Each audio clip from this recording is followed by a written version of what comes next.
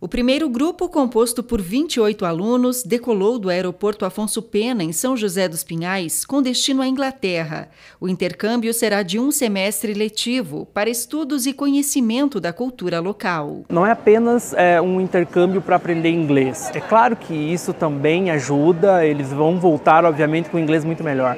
Mas a, a intenção é que eles tenham um aproveitamento acadêmico e também cultural. Então, é, é toda uma, uma, uma imersão na cultura do país, na língua, então é uma experiência linguística e uma experiência cultural.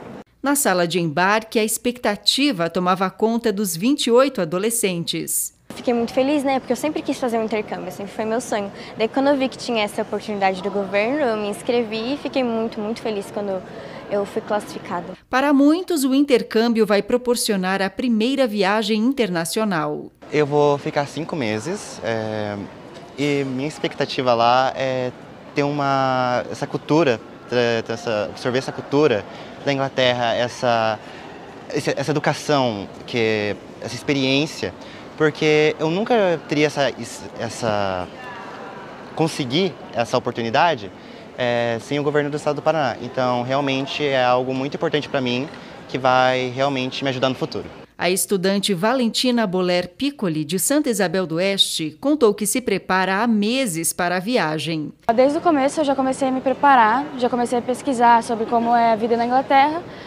e fui atrás de saber como funciona um intercâmbio internacional. Ah, é alto, com certeza. Eu estou muito ansiosa. Mais de 80 milhões de reais serão investidos pela Secretaria de Educação do Paraná. Com mil alunos selecionados, esta é a maior edição do programa, que foi criado em 2022. Ao todo, 400 estudantes farão intercâmbio no Canadá, 250 na Austrália, 250 na Nova Zelândia, 50 nos Estados Unidos e 50 na Inglaterra.